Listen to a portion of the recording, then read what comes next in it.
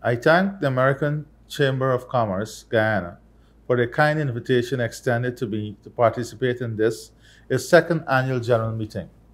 Annual general meetings are an obligatory requirement of membership organizations.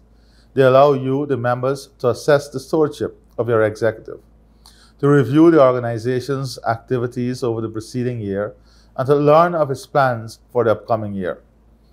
At the political level, we also engage in introspection and advanced planning. Today, I propose to be forward looking about the prospects for Guyana's business development. Businesses are the lifeline of any economy.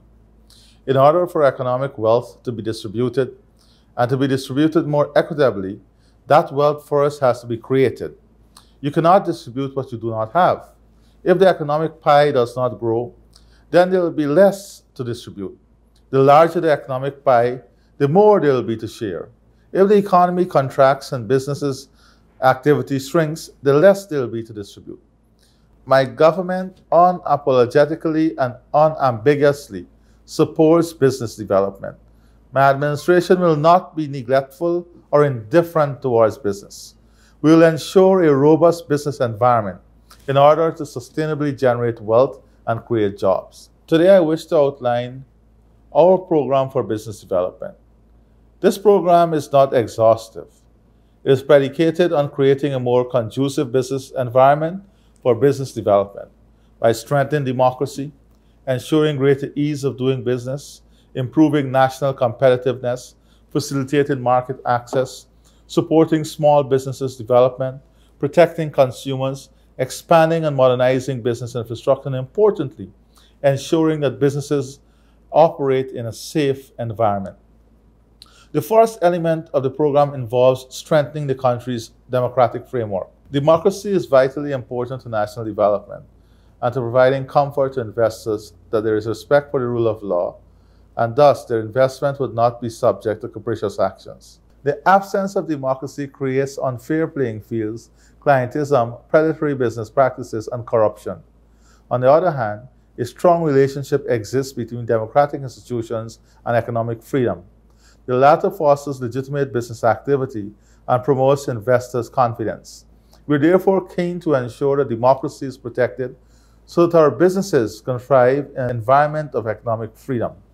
AmCham Guyana has been in the forefront in supporting constitutional rule and democracy.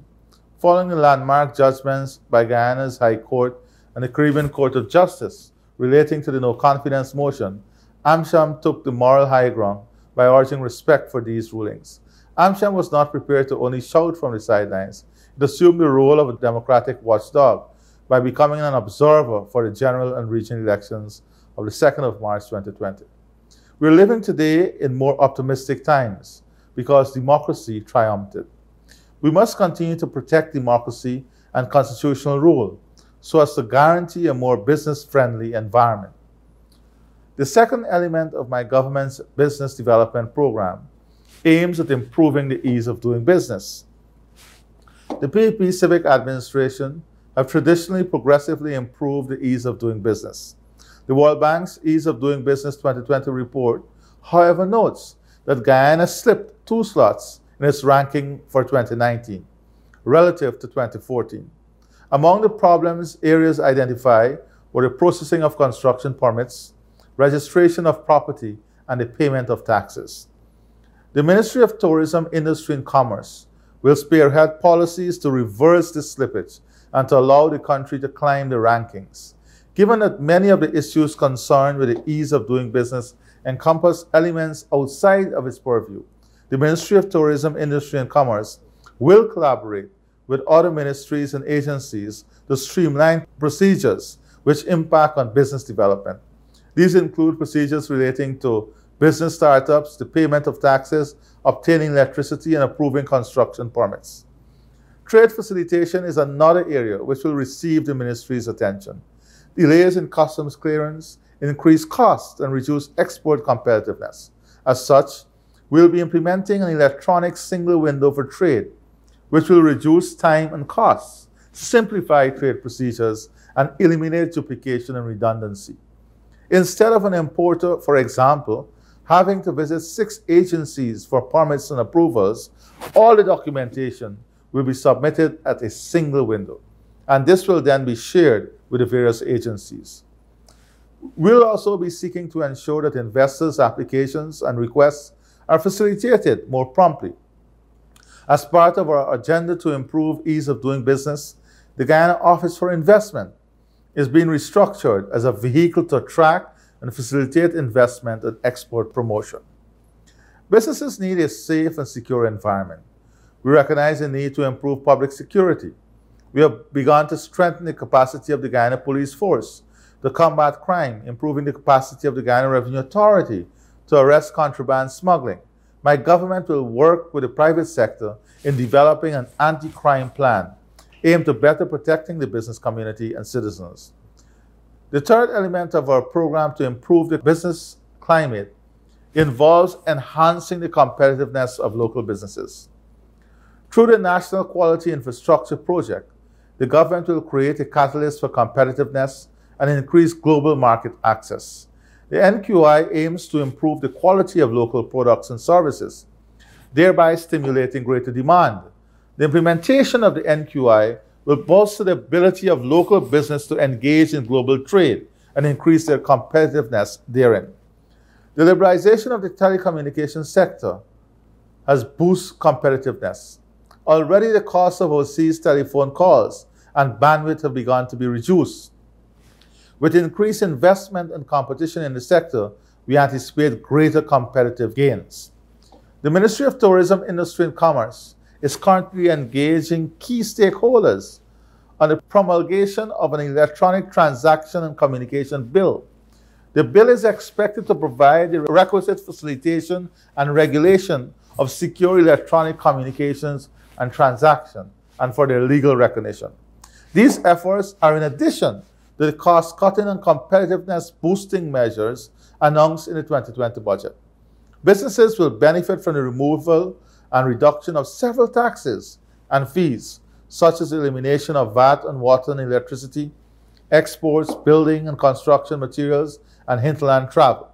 These measures effectively put more money back into all businesses, large, medium, or small, allowing them to reinvest, grow, and create additional employment, while simultaneously attracting new companies to our shores.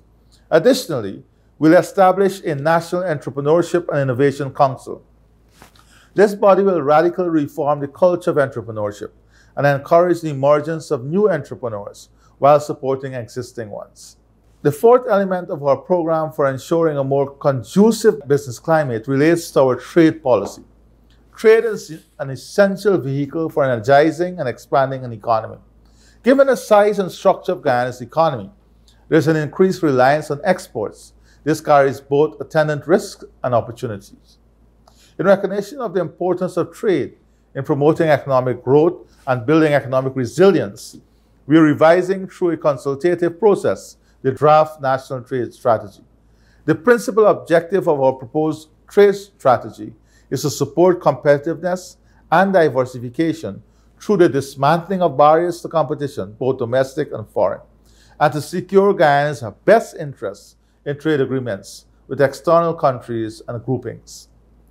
We'll continue to work to unlock new markets for our traditional exports, including rice, sugar, bauxite, and timber. At the same time, we will seek opportunities for new products, services, and industries. Fifthly, our program for enhancing the business environment concerns the small businesses sector. I am pleased to note that the membership of AmCham Guyana involves both large, medium, and small scale businesses. Small businesses are indispensable to economic development.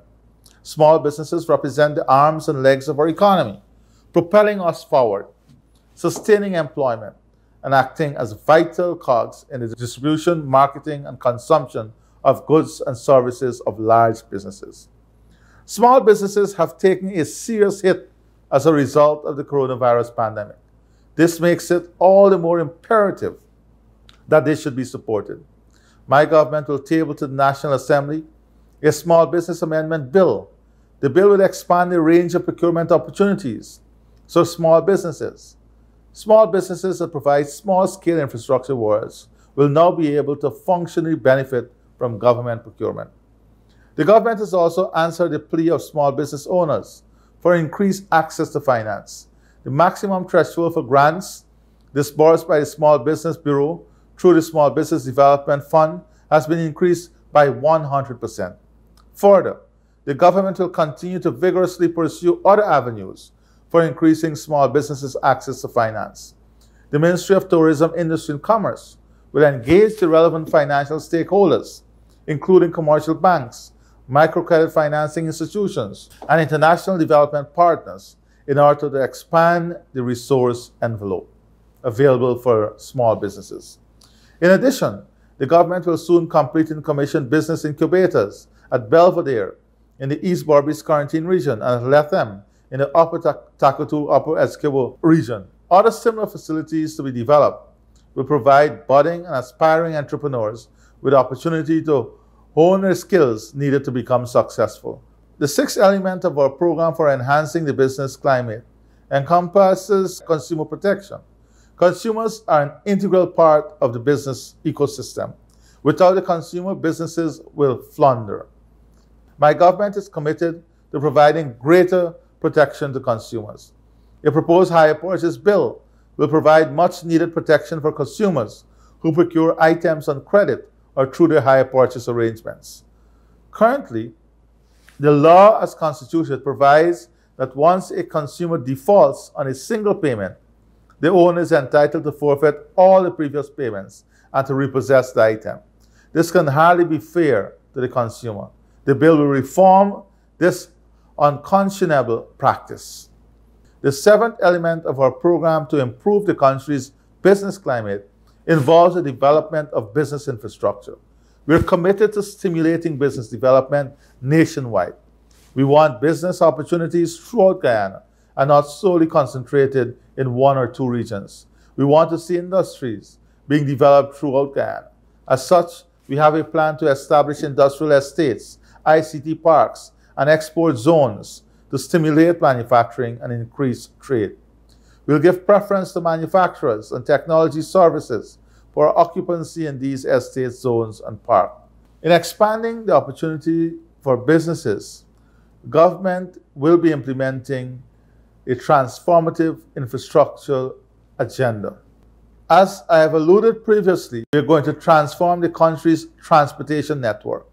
A new bypass between Diamond and Ogle will be built with connections to Mocha, Eccles, and Providence.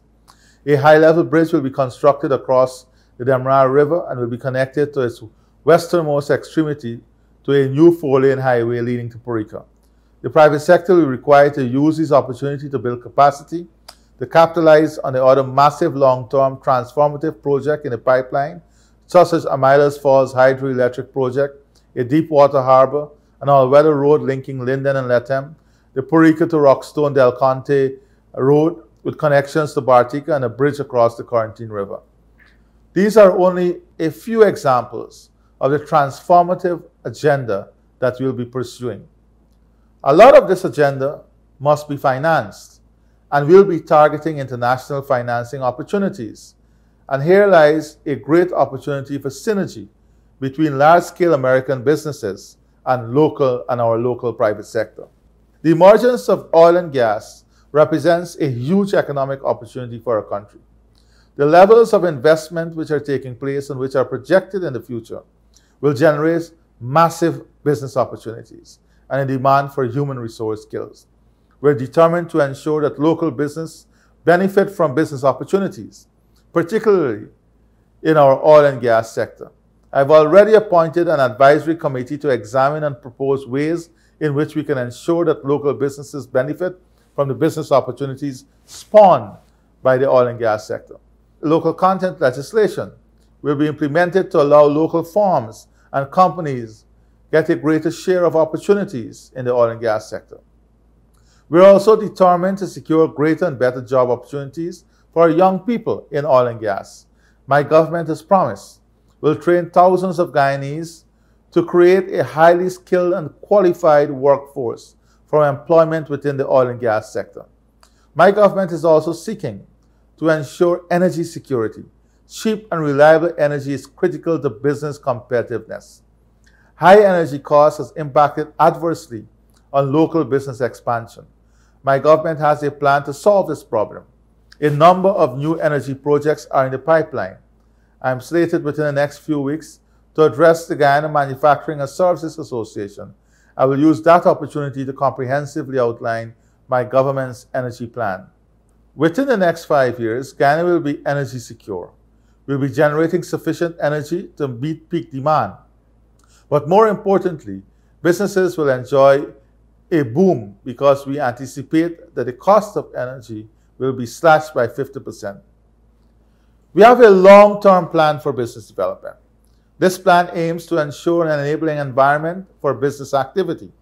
We are fashioning a conducive business climate by your commitment to the rule of law and democracy, improving the cost of doing business, enhancing national competitiveness, facilitating trade and investment, supporting small businesses, protecting consumers, and establishing infrastructure which supports business development. I look forward to working with the American Chamber of Commerce Guyana to propel this program. I'm open to meeting with the business community because I believe that business is good for our people and for the country's development. I therefore wish every success to this, the second annual general meeting of the American Chamber of Commerce. I look forward to the Chamber's instrumentality in enhancing investment, trade, industry, and commerce in our country. I thank you. God bless you.